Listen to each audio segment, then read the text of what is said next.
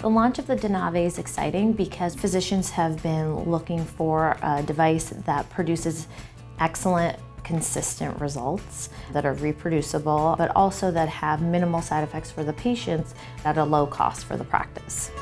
The Denave is effective for treating telangiectasias, port wine stains, age spots as well. What makes the Denave unique is that it's able to give you the 585 wavelength through a fiber optic and not through a dye. You're able to treat an area that's 1.8 by 1.8 and that allows you to treat the face, the neck and chest fairly quickly. The Denave is the first laser to treat vascular lesions that has a scan technology associated with it.